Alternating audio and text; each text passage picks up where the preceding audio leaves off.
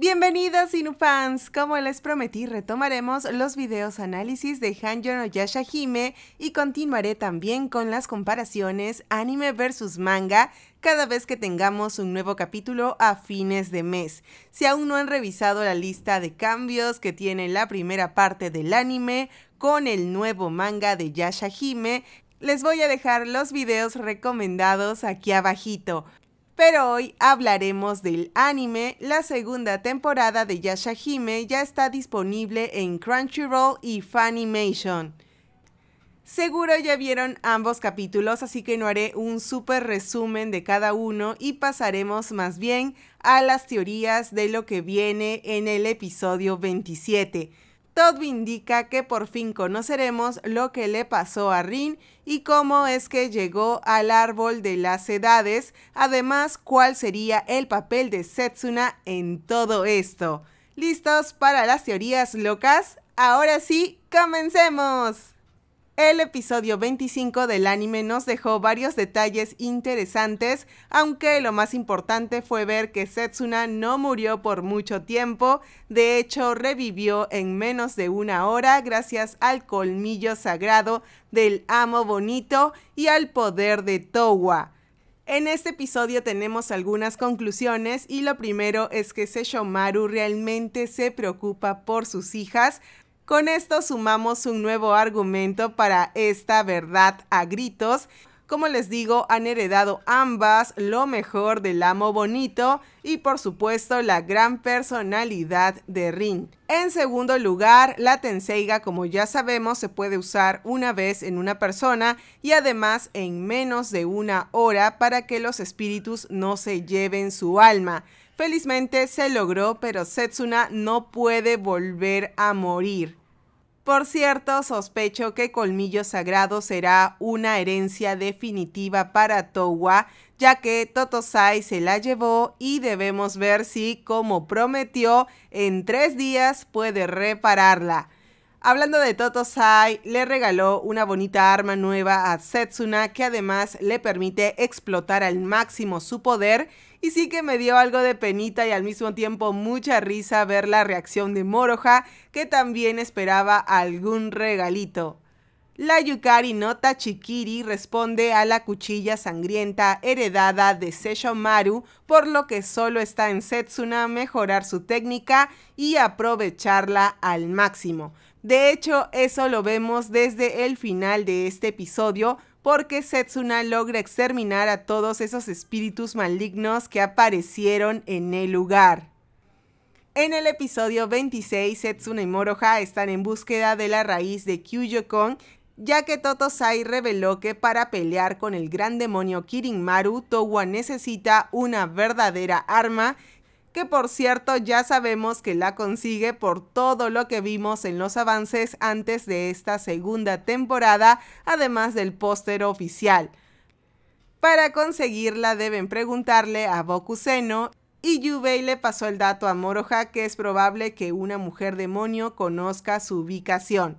Sin pensarlo, las tres princesas llegan al lugar donde esta mujer demonio no tan amigable estaba y de hecho los pobladores temían al mar porque la mujer serpiente marina atacaba a las mujeres con cabello largo y convertía a todo aquel que la miraba en piedra. Es una especie de medusa de la época feudal, aunque sabían que en el pasado en realidad era un espíritu que incluso salvaba a las personas. Resulta que una mujer misteriosa se acerca a Moroha y Setsuna y luego de ayudarle las alimenta, pero en realidad era la malvada demonio de la cual hablábamos y esta demonio se quiere vengar de todos por su historia fallida de amor con un pescador de la zona. En plena batalla aparece Towa y los exterminadores y en un momento de peligro Towa es salvada por el poder de Riku que congela el mar, aunque aparentemente solo ella se dio cuenta de su intervención pero luego de eso viene lo más importante del episodio. Setsuna logra concentrarse y ve un hilo rojo que une a esta demonio con algo al fondo del mar y eso era el pescador hecho piedra, el verdadero amor de esta mujer demonio. Al final, ella recupera su apariencia original cuando todo este malentendido se resuelve y después desaparece. Ninguna se acordó de preguntarle por Bokuseno, así que continúan su viaje.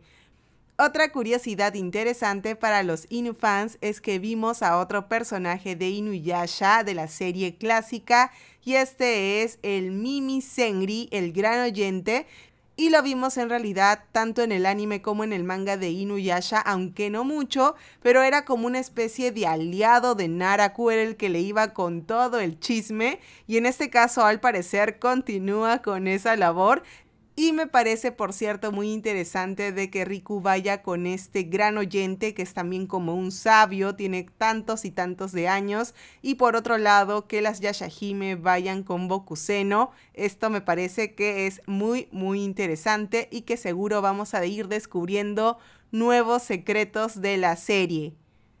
Pero ¿quién es ese Bokuseno y por qué les digo que Setsuna esta vez se lucirá al máximo en esta temporada?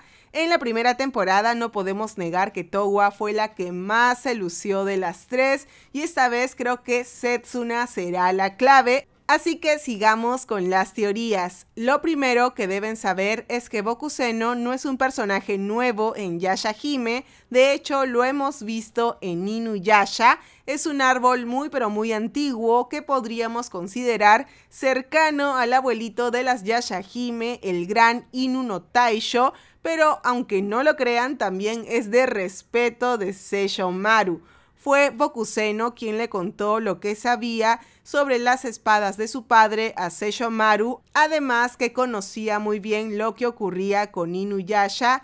Este demonio es un sabio y sabía perfectamente cuando el amo bonito lo iba a buscar sin ser avisado.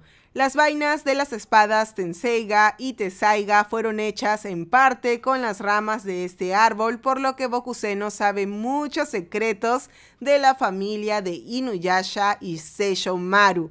Lo vemos en varias ocasiones, tanto en el anime como en el manga, pero si quieren revivir este primer encuentro entre Seisho Maru y Bokuseno, les recomiendo revisar el episodio 24 de la segunda temporada de Inuyasha. No sabemos qué le dirá a las princesas, pero recuerden que también tendremos a Inuyasha en el episodio 27, así que lo más probable es que se trate de algún recuerdo que les cuente a las tres. También les puedo apostar que tendremos algún momento cómico en esta parte, sobre todo porque imagino a Moroja pedirle una ramita de su árbol para que puedan hacerle una arma muy poderosa. Esta podría ser la cuota de humor de la trama. Pero obviamente lo que llama más la atención es porque Towa dijo en el avance que deben salvar a Rin. Y bueno, le dice Rin-san, no le dice mamá o madre. Y en la traducción al español lo vimos como señorita Rin. Sí, dolió, dolió, pero no se preocupen, seguro esto va a cambiar después. Por otro lado, reitero la teoría que veníamos discutiendo desde la temporada anterior y es que Setsuna será clave para salvar a Rin. Realmente creo que el poder heredado de Seisho Maru, que es su cuchilla sangrienta, y la nueva arma que posee podrían ayudarla a romper la maldición que tiene Rin. En estos avances y también en los avances anteriores de la segunda temporada, hemos visto a nuestra ama bonita junto con Zero y ya sabemos el peligro que puede sufrir, por lo que cuando nos muestran esta escena del hilo rojo, nos dejan en claro que Zero y Rin están conectadas. Las uñas que vemos aquí son claramente las de Zero. En este episodio vimos que Setsuna pudo detectar el hilo rojo de la demonio del mar y del pescador, así que creo que podría ser ella quien corte ese hilo rojo y de esta manera acabar con la relación que hay entre Zero y Rin, que es lo que pone en peligro la vida de ambas. En el episodio 27 veremos que la maldición de Cero de la que hablábamos hizo que Ring estuviera en peligro de morir si es que estas escamas plateadas la cubrían por completo. En el avance vemos una escama nada más, pero tendremos también una nueva participación de Jaken en relación a Setsuna y la mariposa de los sueños y por supuesto que aún quedan muchos misterios más.